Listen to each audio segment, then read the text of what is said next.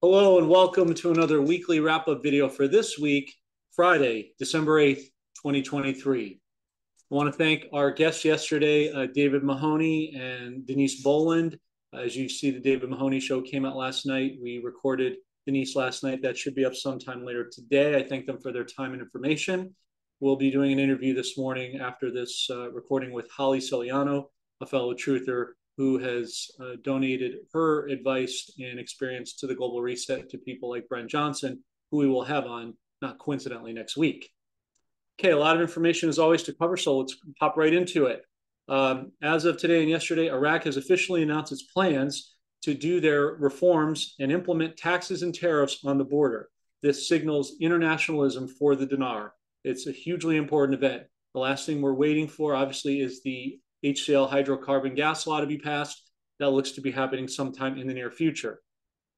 As reported yesterday on our channel, another channel, Saudi Prince Talal bin Abdulaziz bin Bandar al Saudi has died.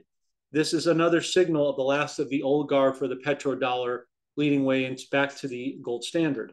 20 more currency, excuse me, 20 more countries have applied for the BRICS uh, for 2024. Uh, on December 13th next week, Somalia and the IMF executives are meeting to discuss debt relief for that nation, aka GESARA.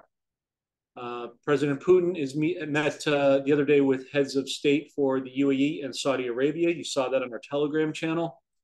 Another important note is the S&P 500 as of today is almost at its magic number of 4,600. It's currently sitting at 4,589.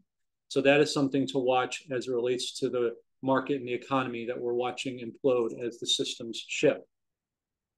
As reported today on the X22 Spotlight with Bill Holter, which we also put up on our Telegram channel, Texas has a non binding referendum starting in early 2024 to secede from the US.